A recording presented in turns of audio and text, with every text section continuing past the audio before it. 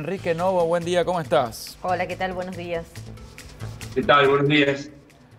Enrique, se conoció eh, anteayer, si no recuerdo mal, que han pedido la detención de 11 oficiales. Recordemos que Matías murió eh, en el marco de lo que ocurrió en Corrientes luego de que fuera... Una ceremonia de iniciación. Una, ceremonia de iniciación, ¿no? Entre comillas. Eh, ¿En qué estado está este, esta solicitud, Enrique?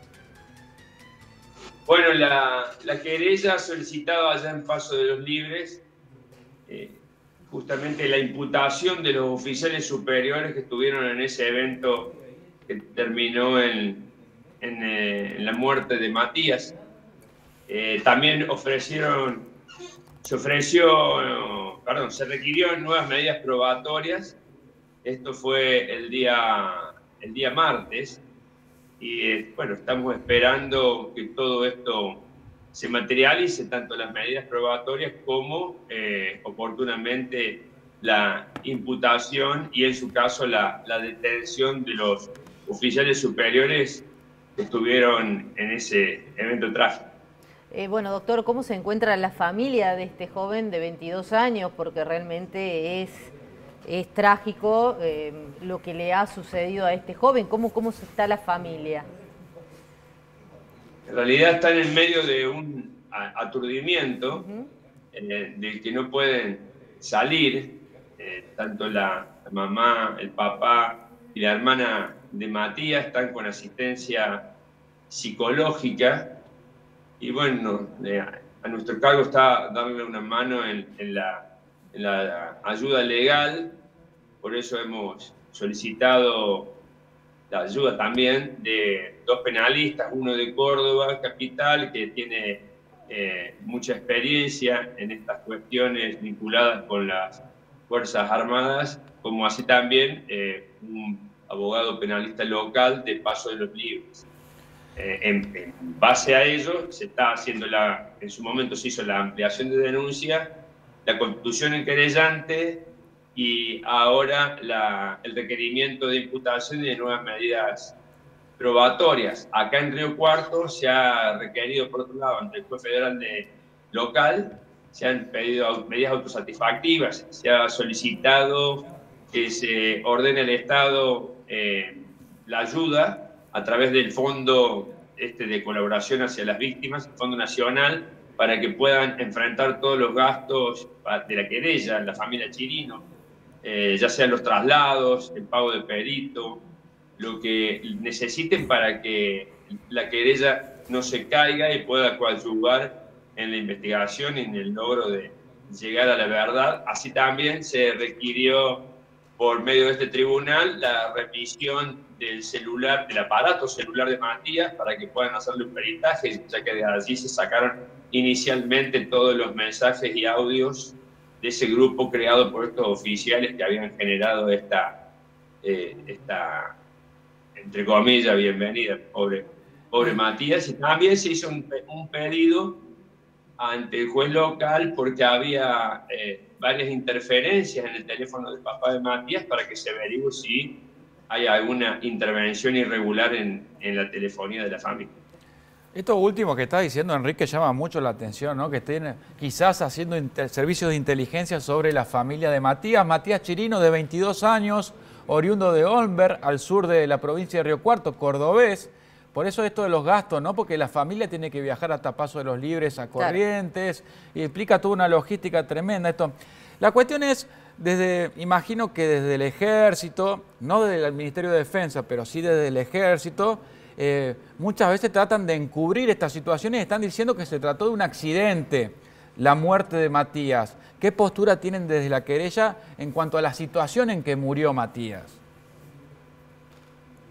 Bueno, en, los inicios, eh, en los días eh, posteriores al fallecimiento, la actitud eh, inicial de, estos oficiales y, del tribunal se parecía a, los inicios del caso Carrasco, ¿no?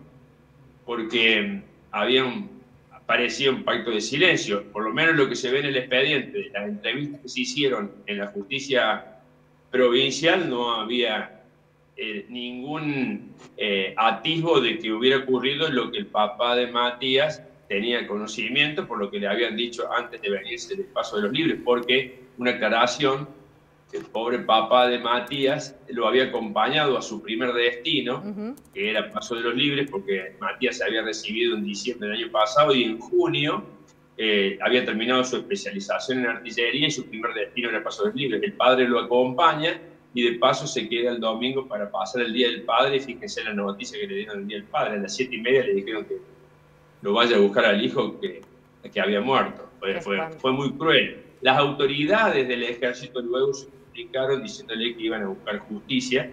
Y bueno, eh, nosotros le requerimos que buscar justicia significa que, eh, que no haya ninguna orden a los subordinados para que se materializara un pacto de silencio, porque eso era incompatible con la búsqueda de justicia. Eh, han, aparentemente han terminado el sumario militar y ese sumario ha sido aportado al, al Tribunal Judicial. Nosotros estamos esperando poder conocerlo y ver si lo que se le dijo a Matías, desde, ah, perdón, al papá de Matías desde el ejército, realmente se plasmó en, en esa averiguación y búsqueda de la verdad de lo decir. Y aquellas personas que participaron, doctor, eh, junto con, Matías en esta ceremonia de iniciación, en esta bienvenida, le vamos a poner ese título en comillas. Eh, ¿Ustedes han podido tomar contacto, han manifestado algo o continúan con este pacto de silencio? Bueno, eh, las personas cercanas a Matías, que son quienes ingresaban con él, uno de ellos en su momento le dijo al papá de Matías que estaba sufriendo, eh, así le digo entre comillas, un tipo de aprietes. Eh, no sabemos desde quién y por eso nosotros eso lo hicimos presente en el tribunal y también se lo comunicamos cuando los altos mandos del de, ejército se comunicaron con, con la familia. Entonces, eh, nosotros no, no descartamos que haya una búsqueda de la verdad en serio y que el ejército no vuelva a otro no vuelvo a tener otro episodio como el caso Carrasco, ese episodio lamentable eh, ¿no? que, hicieron aparentar en los primeros días porque era una situación diversa a la que, a la que ocurrió. Nosotros creemos que la mejor forma de que eh, las instituciones vayan hacia adelante y crezcan no es tapando, sino eh, cuando hay un error, aceptarlo y realizar las medidas correspondientes.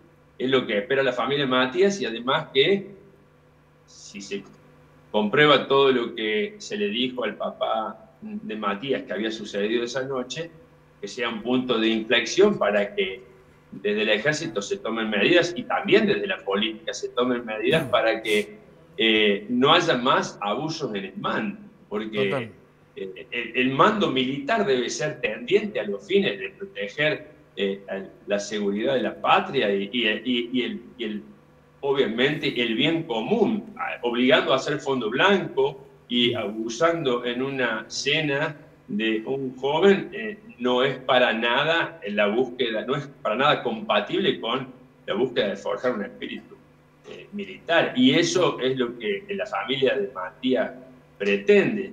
Muy bien, si Este otro, otro caso, si este es otro caso de esos, que sea el último. Ojalá así sea, Enrique, ojalá así sea, que se haga justicia, por supuesto, por Matías y toda su familia. Te mandamos un abrazo grande, muchísimas gracias. Muchas gracias, muy amable. Gracias, muchas gracias por ponerle voz a la familia Chilito.